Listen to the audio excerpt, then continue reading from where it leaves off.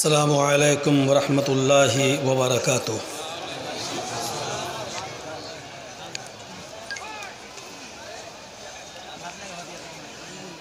الحمد لله.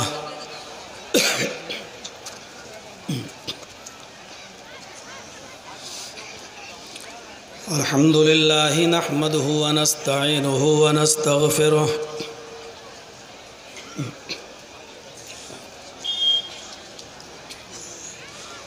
ونعوذ بالله من شرور أنفسنا ومن سيئات أعمالنا.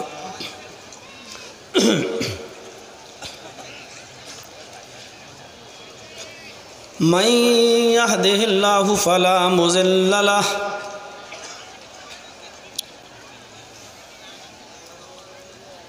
ومن يضلل فلا هادي له.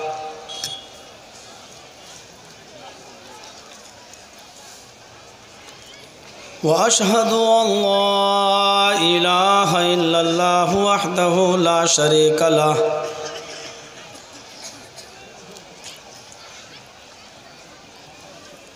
وأشهد أن محمدًا عبده ورسوله.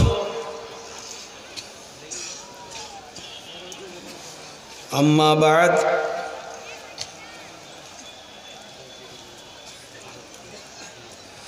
فإن خير الإسلام فإن خير الحديث كتاب الله. وخير الهدي هدي محمد صلى الله عليه وسلم. وشر الأمور محدثاتها وكل محدثة بدعة وكل بدعة ضلالة وكل ضلالة في النار. أعوذ بالله من الشيطان الرجيم. بسم الله الرحمن الرحيم. وإذ قال عيسى ابن مريم يا بني إسرائيل إني رسول الله إليكم مصدقا لما بين يدي من التوراة. ومبشرا برسول يأتي من بعد اسمه أحمد. رب اشرح لي صدري ويسر لي أمري واحلل عقدة من لساني يفقه قولي.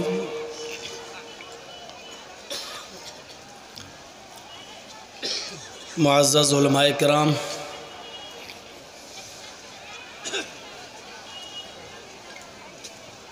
اس علاقے کی معزز اور محبوب احباب بشن پور اور اس کے قرب و جوار سے، اطراف و اکناف سے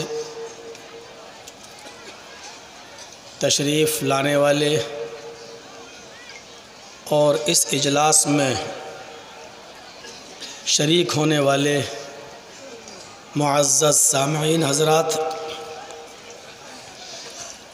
پردے میں بیٹھی ہوئی اسلامی خواتین،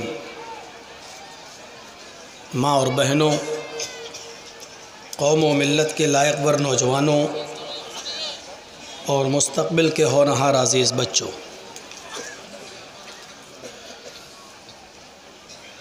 ہمیں اور آپ کو اللہ تبارک و تعالیٰ کا شکر ادا کرنا چاہیے۔ اس کے اس عظیم احسان پر جو اس نے ہمارے اور آپ کے اوپر کیا ہے۔ اس نے ہمیں اور آپ کو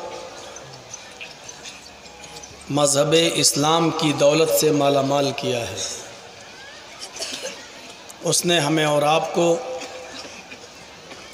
جناب محمد الرسول اللہ صلی اللہ علیہ وسلم کا امتی ہونے کا شرف بخشا ہے۔ اس نے ہمیں اور آپ کو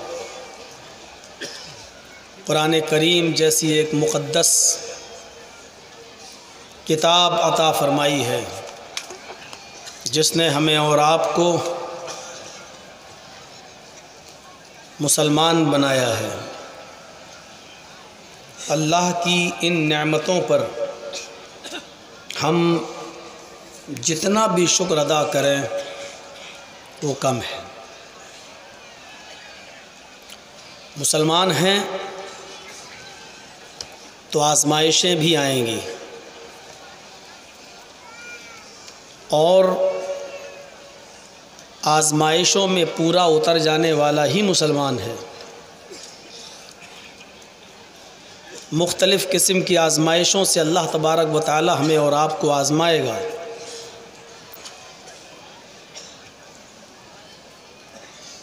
یہ دنیا مومن کے لیے اور مسلمان کے لیے قید خانہ ہی ہے، جیل ہے۔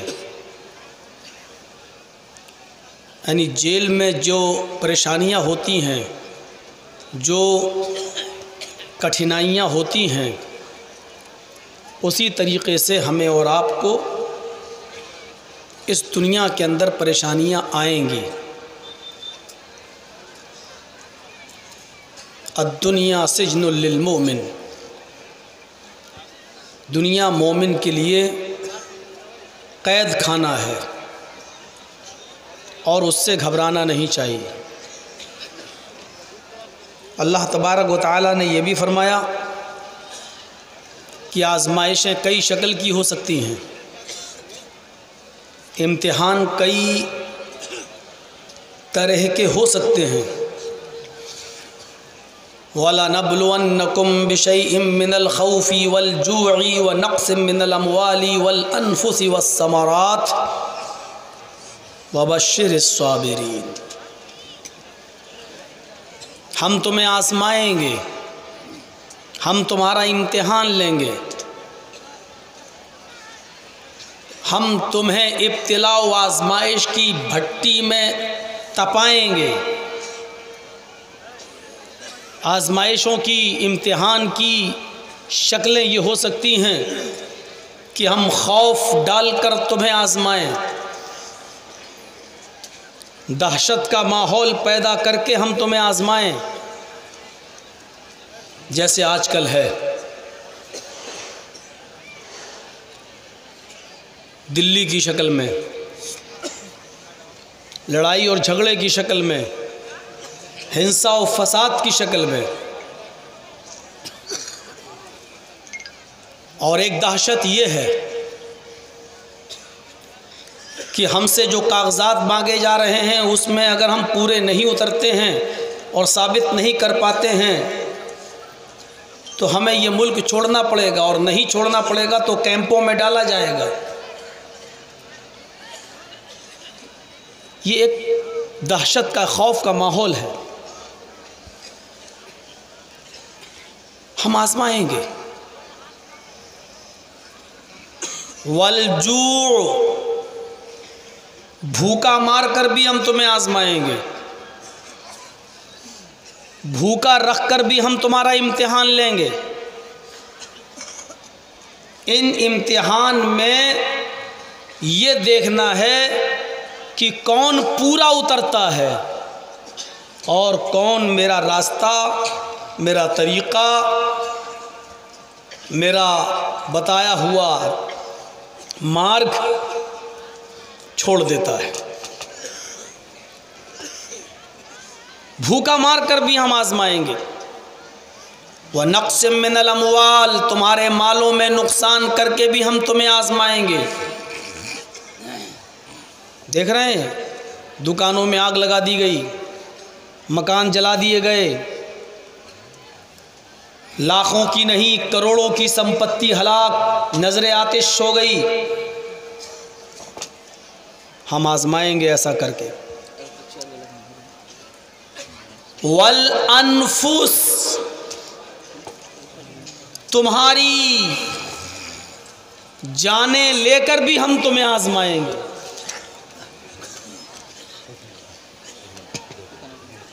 جیسے آج کل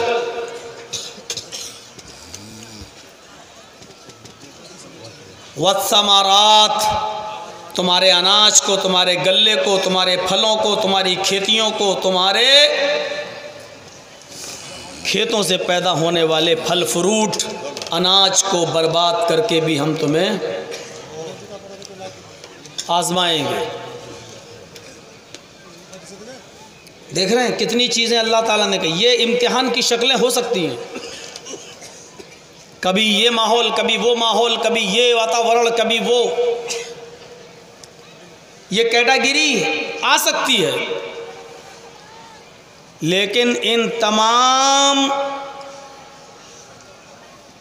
آزمائشوں میں، ان تمام مصیبتوں میں خوشی خوشی ہمارے جو بندے اس کو برداشت کر لیں، جھیل لیں۔ اور ان مصیبتوں پر صبر کر لیں۔ وبشر الصابرین تو آئے محمد صلی اللہ علیہ وسلم، صبر کرنے والوں کو جنت کی خوشخبری سنا دو۔ خوشخبری دے دیجیے صبر کرنے والوں کو۔ صبر کرنے والوں کو خوشخبری سنا دیجیے ان تمام حالات میں بھی اللہ تبارک و تعالیٰ نے یہ نہیں کہا ہے کہ فساد پھیلاؤ۔ ہنسا کا راستہ اختیار کرو۔ بتائیے، خوف و دہشت کا ماحول پیدا ہو جائے۔ بھوکے لوگ مرنے لگے ہیں، دیکھ رہے ہیں آپ؟ باقاعدہ گاڑیاں آ رہی ہیں سرداروں کی، سکھوں کی اور کھانا بانٹ رہی ہیں۔ ایسے حالات اگر آ جائیں تو برداشت کر لینا، صبر کر لینا۔ لیکن ہنسا کا راستہ، فساد کا راستہ نہیں۔ وہ نقص من الاموال تمہارے لاکھوں، کروڑوں، اربوں کی ملکیت برباد ہو سکتی ہے۔ پیسہ ہاتھ کا میل ہے۔ گھر، مکان جلائے جا سکتے ہیں۔ جلانے والے نہیں جانتے۔ ان کے اندر مذہبی جنون ہوتا ہے۔ مذہبی عصبیت ہوتی ہے۔ ورنہ حقیقت تو یہ ہے کہ ایک مکان بنانے میں برسوں لگ جاتے ہیں۔ ایک آدمی کو کماتے ہوئے، محنت کرتے ہوئے، مزدوری کرتے ہوئے۔ ایک مکان بنانے میں برسوں لگ جاتے ہیں۔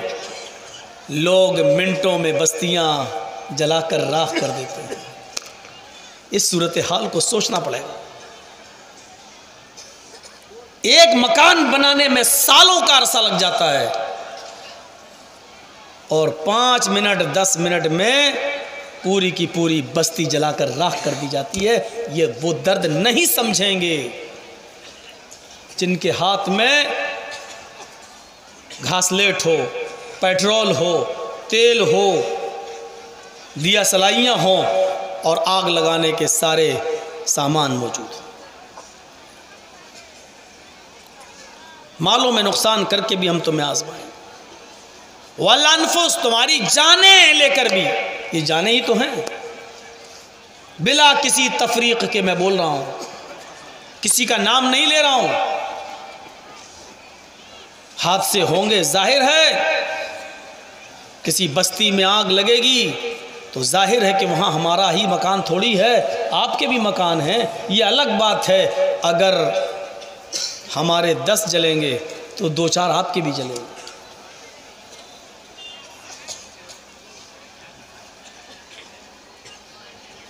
فتنے اور فساد کے جتنے بھی راستے ہیں، اسلام نے ان تمام راستوں کو بند کر دیا ہے۔ کیونکہ اسلام دین فطرت ہے۔ آپ کو معلوم ہے فطرت کیا چاہتی ہے؟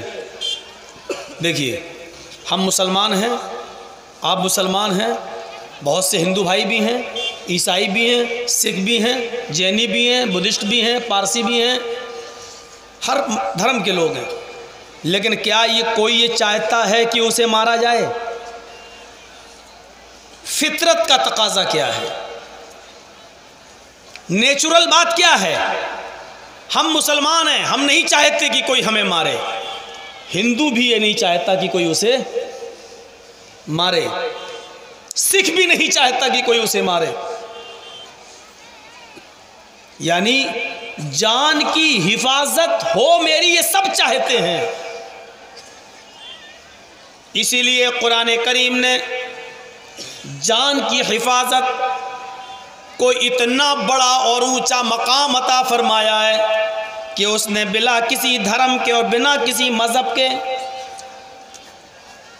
نام لے کر صاف طور پہ فرمایا کہ من قتل نفسا بغیر نفس او فساد فی الارض فکانما قتل الناس جميعا جب یہ کوئی نہیں چاہتا کہ اس کی جان لی جائے، اس کو مارا جائے تو پھر ذمہ داری بنتی ہے کہ تم میں سے کوئی شخص کسی کو بھی قتل نہ کرے۔ اگر کسی نے کسی ایک انسان کو قتل کر دیا، چاہے وہ کوئی بھی ہو، قتل کرنے والا بھی کوئی بھی ہو، اور جس کو قتل کیا جا رہا، وہ بھی کسی بھی مذہب کا ہو۔ اگر تم نے کسی ایک نفس کو قتل کر دیا، ایک منشی کو قتل کر دیا، ایک انسان کو قتل کر دیا، ایک انسان کو مار دیا، تو اللہ تعالیٰ کہہ رہا ہے بغیر نفس بنا کسی غلطی کے، بنا کسی قصور کے اگر تم نے اس کو مار دیا، او فساد فی الارض، اور اس نے زمین میں فساد بھی نہیں پھیلایا، اس نے ہنسا بھی نہیں پھیلائی۔ بیچارہ نیک تھا، شریف تھا، اپنے گھر میں اطمینان سے بیٹھا تھا، اس کو کسی چیز سے کوئی مطلب نہیں۔ اور تم نے اس کو مار دیا، قتل کر دیا، گھر میں گھس کر اس کو چاکوؤں سے گود ڈالا۔ تو اللہ تعالیٰ کہہ رہا ہے، تم نے ایک منش کو، ایک انسان کو نہیں مارا۔ چاہے وہ ہندو ہو، سکھ ہو، عیسائی ہو، بدھسٹ ہو، جینی ہو، کرسچن ہو، پارسی ہو، کوئی بھی ہو، اگر تم نے اس کو پر امن ماحول میں اس نے کچھ نہیں کیا اور تم نے اس کو مار دیا۔ تو تم نے ایک انسان کو نہیں مارا۔ قتل فکانما قتل الناس جميعا تم نے پورے وشو کی مانوتا کو، پوری دنیا کی انسانیت کو مار ڈالا۔ یہ ہے جان کی حفاظت اسلام کے اندر۔ لائیں یہ میڈیا والے جو آج آگ لگا رہے ہیں۔ یہ پیش کریں کہ ایسی مثال جو قرآن کریم نے دی ہے، دنیا کے کسی بھی دھرم کے اندر ایسی مثال موجود ہو۔ جان کی حفاظت کی۔ جان کی حفاظت کی ایسی مثال کہیں بھی ہو۔ یہ اسلام سکھلا رہا ہے۔ راستہ ہی بند کر دیا کسی کو بے قصور مارنے کا۔ ہاں مولانا جرجیس نے کسی کو قتل کیا ہے۔ اب آپ اسلامی حکومت کہیں ہے تو وہاں مولانا جرجیس کو بھی قتل کیا جائے گا۔ یہاں وہ مجرم نہیں ہوں گے۔ کیوں؟ کیونکہ میں قاتل ہوں، میرا قصور ہے قتل کرنا۔ لیکن ہم نے کچھ نہیں کیا۔ آپ نے کچھ نہیں کیا۔ گھر میں بیٹھے اطمینان سے۔ اور ہم گھر میں گھس کر آپ کو مار دیے۔ تو ہم نے ایک کو نہیں مارا، پورے دنیا کی انسانیت کو مار دیا۔ اس سے عمدہ مثال کہاں ملے گی؟ انسانی فطرت ہے۔ انسانی فطرت ہے۔ کوئی نہیں چاہتا کہ ہمارے مال پر ناجائز کوئی قبضہ کرے۔ بڑی محنت سے ہم نے کمایا، کوئی ہمارے مال پر حملہ کرے، ہمارا مال لوٹ کے لے جائے۔ ہم مسلمان ہیں، ہمیں نہیں پسند ہے کہ کوئی ہمارے مال کو ناجائز طریقے سے قبضہ کر کے لے جائے۔ آپ ہندو ہیں، آپ کو بھی پسند نہیں ہے کہ کوئی آپ کے مال پر قبضہ کرے۔ آپ سکھ ہیں، کوئی سکھ بھی نہیں چاہتا کہ میرے مال کو کوئی لوٹے اور برباد کر دے۔ کوئی جینی بھی نہیں چاہتا، کوئی عیسائی بھی نہیں چاہتا۔ جب مال بھی سب کو پیارا ہے، تو اسلام نے بھی مال کی حفاظت کی ایسی بلند ایسی بلندی عطا فرمائی ہے کہ آپ اس واقعے پر غور کریں گے تو آپ کو پتہ چلے گا کہ نبی اکرم صلی اللہ علیہ وسلم کے پاس دو صحابی آتے ہیں اور اپنا اپنا مقدمہ پیش کرتے ہیں۔ ایک نے کہا، اللہ کے رسول، یہ میری زمین ہے۔ دوسرے نے کہا، اللہ کے رسول، یہ زمین کا ٹکڑا میرا ہے۔ آپ نے کہا، واہ! دونوں کا تو نہیں ہو سکتا ہے۔ کہا، اسی لیے تو فیصلہ آپ سے کرانے آئے کہ آپ ہم دونوں کے درمیان سچا فیصلہ کرو۔ اللہ کے نبی نے فرمایا، ہم جب تک دونوں کی گفتگو سن نہیں لیں گے، تب تک ہم فیصلہ نہیں کر سکتے۔ دونوں نے گفتگو کی، دونوں کی باتیں آپ نے سنی، لیکن دونوں ہی اپنی اپنی دلیلیں دے رہے ہیں۔ دونوں کی باتیں صحیح لگ رہی ہیں۔ یا اللہ، اب زمین اس کو دی جائے یا اس کو دی جائے۔ وہ اپنے ہونے کے ثبوت دے رہا ہے، یہ اپنے ہونے کے ثبوت دے رہا ہے۔ وہ اپنی بات کہہ رہا ہے، یہ اپنی بات کہہ رہا ہے۔ معاملہ بڑا پیچیدہ ہے۔ لیکن اس کے باوجود انیس بیس ہوتا ہے۔ کسی کی بات زیادہ سمجھ میں آ رہی ہے اور کسی کی بات کم سمجھ میں آ رہی ہے۔ تو اللہ کے نبی صلی اللہ علیہ وسلم نے فیصلہ سنانے سے پہلے فرمایا، دیکھو میں فیصلہ تو کر رہا ہوں اس زمین کے ٹکڑے کے بارے میں، اور میرا فیصلہ تم دونوں میں، جس کے حق میں جائے اس اس کو بھی ماننا ہے، اور جس کے خلاف جائے اس کو بھی ماننا ہے۔ ہاں میرا فیصلہ ایک ہی کے حق میں جائے گا، دوسرے کے حق میں نہیں۔ ایک آدمی اچھی طریقے سے بول رہا ہے، اور دوسرا آدمی اپنی بات بہت اچھی طریقے سے نہیں کہہ پا رہا ہے۔ ایک آدمی چرب زبان ہے وہ اپنی بات بہت اچھی طریقے سے سمجھا لیتا ہے مجھے۔ دوسرا آدمی بول تو رہا ہے، لیکن بہت اچھی طریقے سے اپنی بات نہیں سمجھا پا رہا ہے مجھے۔ ہو سکتا ہے کہ زمین کا مالک وہ ہو جو بہت اچھی طرح نہ بول پا رہا ہو۔ اور میں زمین اس کو دے دوں جو اچھی طرح بول کے سمجھا رہا ہے۔ اس کی دلیلیں سن کر، اس کی چرب زبانی دیکھ کر لیکن وہ اچھی طریقے سے جانتا ہے یہ زمین میری ہے یا نہیں ہے۔ میرا فیصلہ اگر غلط ہو جائے تو اتنا یاد رکھنا اس دنیا میں تو اس کو زمین مل جائے گی۔ لیکن آخرت کے اندر اس کو اس کا ٹھکانہ کیا ہوگا؟ یہ کہہ کر آپ نے زمین کا فیصلہ سنا دیا، تمہاری بات زیادہ سمجھ میں آ رہی ہے، یہ زمین میں تمہیں دے رہا ہوں۔ اور سنو، یہ تم اچھی طرح جانتے ہو، یہ زمین تمہاری ہے یا نہیں، یہ تمہیں اچھی طرح معلوم ہے۔ اگر اس زمین کے حقدار تم نہیں ہوئے، تو میں تمہیں زمین کا ٹکڑا نہیں دے رہا ہوں۔ ان نما ہی من النار۔ فلیا خز ہاؤ فلیت رکا بخاری کے الفاظ ہیں، چاہو تو اس کو لے لو، چاہو چھوڑ دو، یہ میں جہنم کا ٹکڑا تمہیں دے رہا ہوں۔ اگر یہ زمین حقیقت میں تمہاری نہیں ہے، اور تم اپنی چرب زبانی کی وجہ سے ہمیں سمجھانے میں کامیاب ہو گئے، تو یہ زمین نہیں دے رہا ہوں میں تمہیں، میں جہنم کا ٹکڑا تمہیں دے رہا ہوں۔ اتنا کہنا تھا ادھر سے وہ چیخا، اے اللہ کے رسول، یہ زمین میری نہیں ہے۔ مجھے مت دیجیے میرے بھائی کی اسی کو دے دو۔ ادھر سے وہ بولا نہیں نہیں، جھوٹ بول رہا اسی کی، اسی کو دے دو۔ ابھی دونوں کہہ رہے تھے میری، اب دونوں کہہ رہے میری نہیں۔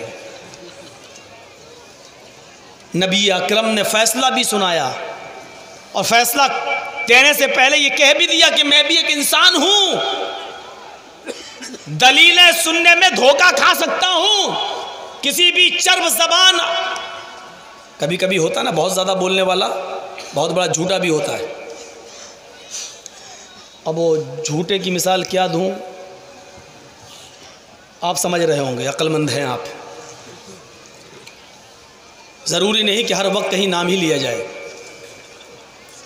اتنی سمجھداری اپنے اندر پیدا کریے کہ بغیر نام کے بھی سمجھنے کی کوشش کیجیے بیس سالوں سے میں آ رہا ہوں، میرے اشارے نہیں سمجھ پا رہے ہیں آپ لوگ۔ تو کچھ عقل مندی اپنے اندر بھی پیدا کریے